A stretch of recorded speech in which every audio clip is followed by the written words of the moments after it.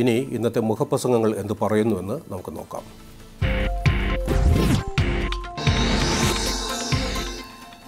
ഡൽഹിയിൽ സമാപിച്ച കോൺഗ്രസിന്റെ പ്ലീനറി സമ്മേളനം തിരഞ്ഞെടുപ്പ് പൊതു തിരഞ്ഞെടുപ്പുകളിൽ ബാലറ്റ് സമ്പ്രദായം തന്നെ പുനഃസ്ഥാപിക്കണം എന്ന് ആവശ്യപ്പെട്ടു. ഇലക്ട്രോണിക് വോട്ടിംഗ് യന്ത്ര സംവിധാനത്തിന്റെ വിശ്വാസ്യത ചോദ്യം ചെയ്തുകൊണ്ടാണ് കോൺഗ്രസ് ഈ ഒരു ആവശ്യം ഉന്നയിച്ചത്. ആ ഒരു ആവശ്യത്തിന്റെ അർത്ഥരാഹിത്യമാണ് കേരള കൗമുദി ഇന്ന് മുഖപ്രസംഗത്തിന് വിഷയം ആക്കിയിരിക്കുന്നത്. ബാലറ്റിലേക്കല്ല മടങ്ങേണ്ടത് ജനങ്ങളിലേക്ക് എന്നാണ് മുഖപ്രസംഗത്തിൽ കേരള കൗമുദി ഓർമ്മിപ്പിക്കുന്നത്. അതായത് ഈ വോട്ടെടുപ്പിൽ തോൽക്കുന്നത് ഈ ബാലറ്റിന്റെ ആ ഒരു ബാലറ്റ് സമ്പ്രദായത്തിന്റെ കുഴപ്പം കൊണ്ടല്ല ജനങ്ങളോടുള്ള സമീപനത്തിന്റെ കുഴപ്പം കൊണ്ടാണ് എന്നാണ് മുഖപ്രസംഗത്തിൽ എടുത്ത് പറയുന്നത്. പ്രസക്ത ഭാഗം ഇങ്ങനെയാണ്. ജനവിധി അട്ടിമറിക്കാൻ അധികാരത്തിലിരിക്കുന്ന ബി ജെ പിക്ക് സാധിക്കുമെന്ന ആശങ്കയാണ് വോട്ടിംഗ് യന്ത്രത്തെ തള്ളി പറയാൻ കോൺഗ്രസ് നേതാക്കളെ പ്രേരിപ്പിച്ചത്. ഈ ആശങ്ക എത്രമാത്രം അസംബദ്ധവും അശാസ്ത്രീയവും യാഥാർത്ഥ്യവുമായി പൊരുത്തമില്ലാത്തതും ആണെന്ന് രാജസ്ഥാനിലും യു പിയിലും ബീഹാറിലും ഈയിടെ നടന്ന ലോക്സഭാ ഉപ ഉപതിരഞ്ഞെടുപ്പുകൾ തെളിയിക്കുന്നു. മൂന്നിടത്തും ബി ജെ പി സ്ഥാനാർത്ഥികൾ വലിയ മാർജിനിലാണ് പരാജയപ്പെട്ടത്. യു പിയിൽ രണ്ടായിരത്തി പതിനാലിലെ ലോക്സഭാ തെരഞ്ഞെടുപ്പിലും അടുത്ത കാലത്ത് നടന്ന നിയമസഭാ തിരഞ്ഞെടുപ്പിലും അതിഗംഭീര വിജയം നേടിയ ബി ജെ പിയാണ് ഇപ്പോൾ നടന്ന ഉപതെരഞ്ഞെടുപ്പുകളിൽ മൂന്ന് ലക്ഷത്തിലേറെ വോട്ടുകൾക്ക് തോറ്റ് തുന്നം പാടിയത്. വോട്ടിംഗ് യന്ത്രങ്ങളുടെ വിശ്വാസ്യതയിൽ ശങ്കയുള്ളവർ പഞ്ചാബിലും ഡൽഹിയിലും കേരളത്തിലും മറ്റും അധികാരത്തിൽ വന്ന കക്ഷികൾ ബാലറ്റ് ബാലറ്റിലൂടെയാണോ അത് നേടിയതെന്ന് പരിശോധിക്കേണ്ടതുണ്ട് എന്നും മുഖപ്രസംഗത്തിൽ ഓർമ്മിപ്പിക്കുന്നുണ്ട്. അതായത് യാഥാർത്ഥ ബോധത്തോടെ കാര്യങ്ങളെ സമീപിച്ചാൽ ഇത്തരം ആവശ്യങ്ങൾ ഉന്നയിക്കേണ്ട സ്ഥിതി വരില്ല എന്നാണ് മുഖപ്രസംഗത്തിൽ എടുത്ത് പറയുന്നത്.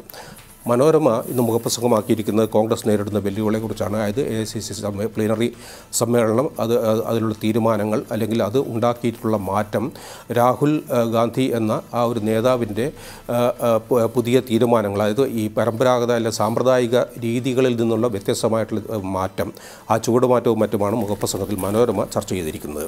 കോൺഗ്രസ് നേരിടുന്ന വെല്ലുവിളികൾ പുതിയ ദിശാബോധം നൽകി രാഹുൽ ഗാന്ധി. അതായത് മുതിർന്ന തലമുറയെ അവരുടെ നിർദ്ദേശങ്ങളും ഉപദേശങ്ങളും ഏഹ്, ചെവിക്കൊണ്ടുകൊണ്ട് തന്നെ ചെറുപ്പക്കാർക്ക് കൂടുതൽ പ്രാതിനിധ്യം അതുപോലെ തന്നെ കൂടുതൽ തൊഴിലവസരങ്ങൾ ഇതെല്ലാം നൽകും. ആ ഒരു സമീപനം വികസന സമീപനമായിരിക്കും കോൺഗ്രസ് കൈക്കൊള്ളുക എന്നാണ് രാജീവ് രാഹുൽ ഗാന്ധി വ്യക്തമാക്കിയത് അത് ദിശാബോധം പ്രകടമാക്കുന്ന ഒരു ഒരു നടപടിയായിരുന്നു. അതുകൊണ്ട് തന്നെ ശ്രദ്ധേയമാണ് എന്ന മുഖപ്രസംഗത്തിൽ എടുത്തു പറയുന്നു മനോരമ. ചരിത്രത്തിൽ ഏറ്റവും ദുർബല ഘട്ടത്തിലൂടെയാണ് കോൺഗ്രസ് കടന്നു പോകുന്നത് അധികാരം നാല് സംസ്ഥാനങ്ങളിൽ മാത്രം ലോക്സഭയിൽ വെറും നാൽപ്പത്തി എട്ട് എം പിമാർ. ഈ നിലയിൽ നിന്ന് കേന്ദ്രത്തിലെ അധികാരത്തിൽ എത്തണമെങ്കിൽ ഭഗീരഥ പ്രയത്നം തന്നെ വേണം. കോൺഗ്രസ് മുക്ത ഭാരതം എന്ന മുദ്രാവാക്യമുയർത്തുന്ന ബി ജെ പിക്കെതിരെ കെട്ടുറപ്പുള്ള സഖ്യം പടുത്തുയർത്തുകയും അതിന് സ്വീകാര്യത നേടിയെടുക്കുകയും എന്ന ഭാരിച്ച ദൗത്യമാണ് പാർട്ടി അധ്യക്ഷൻ രാഹുൽ ഗാന്ധിയുടേത് എന്ന് ഓർമ്മിപ്പിക്കുന്നു മുഖപ്രസംഗം. മാതൃഭൂമി ഇന്ന് മുഖപ്രസംഗമാക്കിയിരിക്കുന്നത് ഒളിച്ചു വയ്ക്കാൻ ഉള്ളതല്ല ഒഴിവുകൾ. എന്നതാണ് അതായത് ഇപ്പോൾ കാലാവധി ഈ മാസം അവസാനം അവസാനിക്കുന്ന എൽ ഡി ക്ലാർക്ക് റാങ്ക് ലിസ്റ്റുകളിൽ നിന്ന് പരമാവധി ഒഴിവുകൾ റിപ്പോർട്ട് ചെയ്യാൻ ജില്ലാ സംവിധാനങ്ങൾക്ക് സംസ്ഥാന സർക്കാർ മാർഗനിർദ്ദേശം നൽകിയിരിക്കുകയാണ്. കർശന നിർദ്ദേശമാണത്. അത് പാലിച്ചില്ല എന്നുണ്ടെങ്കിൽ ശിക്ഷാ നടപടികൾ ഉണ്ടാകുമെന്ന മുന്നറിയിപ്പും സർക്കാർ നൽകി. അതുമാണ് അതാണ് മാതൃഭൂമി മുഖപ്രസംഗത്തിന് വിഷയം ആക്കിയിരിക്കുന്നത്. ഒളിച്ചു വെക്കാനുള്ളതല്ല ഒഴിവുകൾ. ഈ മാസം കാലാവധി അവസാനിക്കുന്ന എല്ലാ ജില്ലകളിലെയും എൽ ഡി ക്ലാർക്ക് റാങ്ക് പട്ടികയിൽ നിന്ന് പരമാവധി നിയമനം നടത്താനുള്ള സർക്കാരിന്റെ തീരുമാനം തൊഴിൽ രഹിതരായ ആയിരക്കണക്കിന് ചെറുപ്പക്കാർക്ക് ആശ്വാസം നൽകുന്നതാണ്. എല്ലാ ഒഴിവും മാർച്ച് ഇരുപത്തിയേഴിനകം പി എസ് സിക്ക് റിപ്പോർട്ട് ചെയ്യണം എന്ന് വകുപ്പ് മേധാവികൾക്കും നിയമനാധികാരികൾക്കും കർശന നിർദ്ദേശം നൽകിയിരിക്കുകയാണ് സംസ്ഥാന സർക്കാർ. എന്നിങ്ങനെ പറയുന്ന മുഖപ്രസംഗത്തിൽ നാല് ലക്ഷം പേരാണ് ഈ പരീക്ഷ L D clerk rank list പരീക്ഷ എഴുതിയത്. ഇരുപത്തി മൂവായിരത്തിലധികം ഉദ്യോഗാർത്ഥികൾ പ്രധാന പട്ടികയിൽ സ്ഥാനം പിടിച്ചു. ഉപപട്ടികയിൽ അതിന്റെ ഇരട്ടിയിലേറെ ആളുകളാണ് ഉൾപ്പെട്ടത്. എന്നാൽ ഈ നിയമനം കിട്ടിയത് വളരെ കുറച്ച് പേർക്ക് മാത്രം. ഇത് അതായത് റാങ്ക് ലിസ്റ്റിന്റെ കാലാവധി അവസാനിക്കുന്നു. തങ്ങൾ തങ്ങൾക്ക് നിയമനം ഒരിക്കലും ലഭിക്കില്ല എന്ന ആ ഒരു നിരാശയോടുകൂടി റാങ്ക് ലിസ്റ്റിൽ ഉൾപ്പെട്ട ഉദ്യോഗാർത്ഥികൾ സെക്രട്ടേറിയറ്റ് നടയിൽ സത്യാഗ്രഹം അല്ലെങ്കിൽ സമരം ചെയ്യുന്ന ഒരു പശ്ചാത്തലവും ഉണ്ട്. ഈ ഒരു തീരുമാനത്തിന് പിന്നിൽ ഇതെല്ലാം മുഖപ്രസംഗം വിശദമായി തന്നെ ചർച്ച ചെയ്യുന്നു. ഇനി നമുക്ക് ഇന്നത്തെ ബിസിനസ് വാർത്തകളിലേക്ക് പോകാം.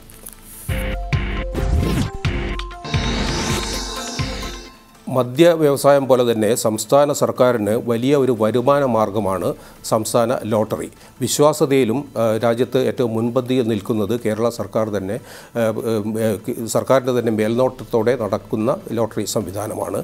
ലോട്ടറി വരുമാനം പതിനായിരം കോടിയിലേക്ക് ഒരു വർഷം വർധന രണ്ടായിരത്തി അറുന്നൂറ് കോടി എന്നതാണ് വാണിജ്യം ബിജിലെ കേരള കമ്മിറ്റിയുടെ ഇന്നത്തെ പ്രധാന വാർത്ത. കോട്ടയത്ത് നിന്ന് രാകേഷ് കൃഷ്ണയാണ് റിപ്പോർട്ട് ചെയ്തിരിക്കുന്നത്. സംസ്ഥാന ലോട്ടറിയിൽ നിന്നുള്ള വരുമാനം ഒറ്റ വർഷം കൊണ്ട് വർദ്ധിച്ചത് രണ്ടായിരത്തി അറുന്നൂറ് കോടി. മാർച്ച് മുപ്പത്തൊന്നോടെ ലോട്ടറി വരുമാനം പതിനായിരം കോടിയിൽ എത്തുന്നതോടെയാണ് വരവിനെ വൻ വരവിലെ വൻ കുതിച്ചുചാട്ടം ഉണ്ടാകുന്നത്. സംസ്ഥാനത്ത് ഏറ്റവും കൂടുതൽ നികുതി നൽകിയ വകുപ്പായും ഇതോടെ ലോട്ടറി മാറും. കഴിഞ്ഞ സാമ്പത്തിക വർഷം ഏഴായിരത്തി നാനൂറ് കോടി രൂപയായിരുന്നു സംസ്ഥാന ലോട്ടറിയിൽ നിന്നുള്ള വരുമാനം എന്നിങ്ങനെ പോകുന്നു. മാത്രമല്ല പല നിരക്കുകളിൽ ഉണ്ടായിരുന്ന ലോട്ടറികളെല്ലാം നിരക്ക് ഏകീകരിച്ച് വില മുപ്പത് രൂപയായി നിജപ്പെടുത്തി. അതുകൊണ്ട് തന്നെ വിൽപ്പന കൂടി എന്നും റിപ്പോർട്ടിൽ തുടർന്ന് പറയുന്നുണ്ട് ഇനി നമുക്ക് മനോരമയുടെ സാമ്പത്തികം പേജ് നോക്കാം. സാമ്പത്തികം പേജിൽ അറുപത്തി രാജ്യത്തെ അറുപത്തി നാല് ബാങ്കുകളിലായി മൂന്ന് കോടി അക്കൗണ്ടുകളിൽ ആയിട്ട് കെട്ടിക്കിടക്കുന്നത് അവകാശികളെ കാത്ത് പതിനോരായിരത്തി മുന്നൂറ്റി രണ്ട് കോടി രൂപ. എന്നാണ് അതാണ് പ്രധാന വാർത്തയെ നൽകിയിരിക്കുന്നത്. ഇത് R reserve bank of India പുറത്തിറക്കിയ കണക്കാണ്. അത് സംബന്ധിച്ച വിശദാംശങ്ങളാണ് സാമ്പത്തിക പേജിൽ മനോരമ ഇന്ന് പ്രധാനമായി നൽകിയിരിക്കുന്നത്. മാതൃഭൂമിയുടെ വാണിജ്യം പേജിൽ കൊച്ചിയിൽ രണ്ട് ദിവസമായി നടക്കുന്ന രണ്ടായിരം പ്രതിനിധികൾ പങ്കെടുക്കുന്ന ഉച്ചകോടി അതായത് ഹാഷ് ടാഗ് ഫ്യൂച്ചർ എന്ന പേരിലുള്ള ആദ്യ ഡിജിറ്റൽ ഉച്ചകോടി ഇരുപത്തിരണ്ടിന് തുടങ്ങുകയാണ്. അതിന്റെ വിശേഷങ്ങൾ അതിന്റെ സവിശേഷതകളാണ് മുഖ്യമന്ത്രിയാണ് ഈ ഡിജിറ്റൽ സമ്മേളനം ആദ്യത്തെ സംരംഭമായിട്ടുള്ള ഈ സമ്മേളനം ഉദ്ഘാടനം ചെയ്യുന്നത്. ഐ ടി ബാങ്കിങ് തുടങ്ങിയ മേഖലകളിലുള്ള വിദഗ്ധരാണ് ഇതിൽ പങ്കെടുക്കുക എന്നിങ്ങനെയുള്ള വിശദാംശങ്ങളാണ് ആ റിപ്പോർട്ടിൽ ഉള്ളത്. ഇനി നമുക്ക് സ്പോർട്സ് വിശേഷങ്ങൾ കൂടി ഓടിച്ചൊന്ന് നോക്കാം. കൊൽക്കത്തയിൽ സന്തോഷ് ട്രോഫി ഫുട്ബോൾ ടൂർണമെന്റിന്റെ ഫൈനൽ റൗണ്ട്. അതിലുള്ള ആദ്യ മത്സരത്തിൽ കേരളം ഒന്നിനെതിരെ അഞ്ച് ഗോളുകൾക്ക് ചണ്ഡീഗഡിനെ തോൽപ്പിച്ച് തകർപ്പൻ വിജയത്തോടെ തുടക്കം കുറിച്ചത്. അതായത് കേരളത്തിന്റെ രാഹുൽ രാജിന്റെ നേതൃത്വത്തിലുള്ള കേരള ടീമിന്റെ ആ ഉജ്ജ്വല പ്രകടനത്തോടെയുള്ള തുടക്കമാണ് സന്തോഷ തുടക്കം എന്ന ശീർഷകത്തിൽ കളിക്കളം പേജിൽ കേരള മോദി ഇന്ന് പ്രധാനമായി അവതരിപ്പിച്ചിരിക്കുന്നത്. അത് സംബന്ധിച്ച് വിശദാംശങ്ങൾ റിപ്പോർട്ടിലുണ്ട്. ആകർഷകമായ പടവും സഹിതമാണ് റിപ്പോർട്ട് നൽകിയിരിക്കുന്നത്. കൗതി ന്യൂസ് ട്രാക്കിന്റെ ഈ ലക്കം ഇവിടെ അവസാനിക്കുന്നു. നാളെ വീണ്ടും ഇതേ സമയത്ത് കാണാം. എല്ലാവർക്കും നല്ലൊരു ദിവസവും നേരുന്നു.